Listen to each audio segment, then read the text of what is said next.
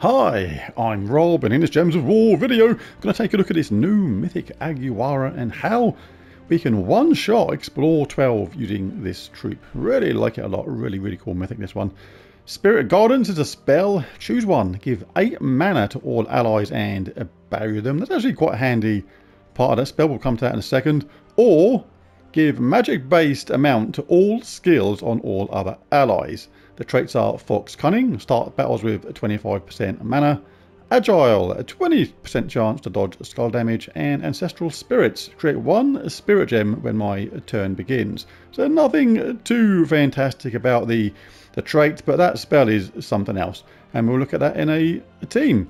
So basically, the options are that give 8 mana to all allies and, and bury them, or give magic based amount to all skills on all other allies means with two of these in the team, you could actually have them sort of feeding into each other if you want to do it that way. Or you could use the Empress if you have the Empress.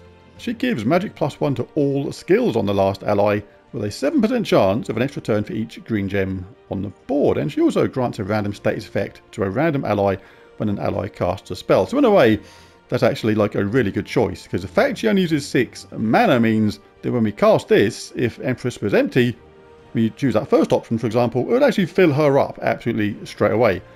And there are times you may want to actually do that because the fact that it gives a barrier to all allies, including itself, when you do that, means it's a kind of natural defense against itself. Because this is a really good troop for powering up uh, something like a because it gives the the massive boost to all skills on the last ally. So Stellaris is magic, its damage is going to go absolutely through the roof and be absolutely filth. Uh, if you don't have Stellaris, you can use something like a Darmentina, you can use a Cosmic Dragon, a Gem Dragon, whatever you like. Any damage to all troop is going to be really good. So we can use our Wand of Stars as a mana generator. We'll get that ready to go pretty quickly because we can be in a Geomancer class where we get a 50% start with a mana. And we also get stuff like Rock Solid, which is nice as well, and Tree of Knowledge. So we'll cast that, we'll get that charged up nice and quick. And then basically cast the Empress first. That's going to boost up Aguara. Then it gives even more to the skills on all other allies. We cast that. Stellaris is then cast and will do absolutely nuts damage and wipe out Explore 12 in a single cast. The banner for this, I'm still going for the Maze banner, even though a few of our troops use a purple, because plus three red, plus two green. You can't ignore that. It's just so good. Right, so let's jump into a Explore 12 then, see what we can do. Got two times Nysha, one times Anu for this to give our mana-hungry troops a bit of a head start in mana. Stellarix and Aguara, you need quite a lot of mana between them. To grab any four matches though, which come along. Very handy indeed. That's got our wand ready to go right away. There you go. Wand is such a good manager in mana generator, it just gets the mana ready really quickly. It can fail sometimes, but it works most of the time. Right, so right now, my Stellaris is doing a mere, a meager 141 damage to all enemies with a boost of 32.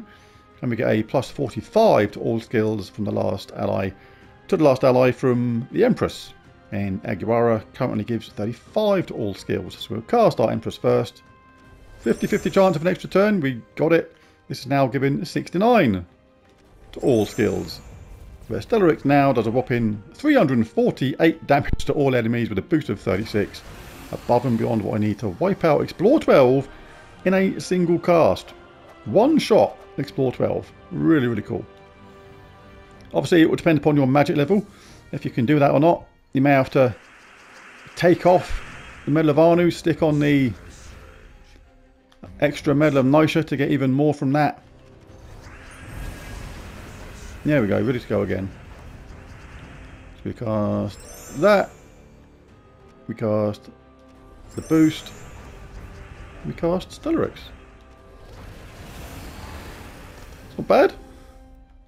Not sure if it's as fast as the fastest Explore 12 teams out there, but if you haven't got those troops required to do those other teams that are really mega fast as well, then this one's here right now, and it definitely it can be used.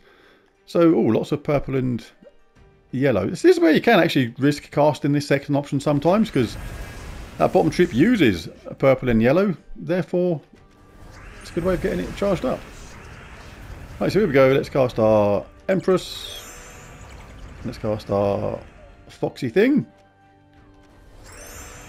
And Stellarex. Three out of three. One shot Explore 12s. Been really careful not to press the buttons too many times. I think jamming on the buttons after a win seems to be one of the things that seems to be activating the the crash of the game. Quite a lot of people from our guild have noticed that. As soon as you win, oh, just noticed they've got one failure there. I have one failure. This is surely not good. Uh, let's get our mana normally. Oh, what? Must have gone minus one purple. Yeah, I've got, yeah, of course I have got the maze banner, haven't I? Ah, my bad. That was slow because it was my fault. I didn't actually. I forgot I had minus one purple because of the plus three red and the plus two green that you get from the maze banner. Make sure he's picked that second option. Kaboosh them all out of there. In one mighty great kaboosh.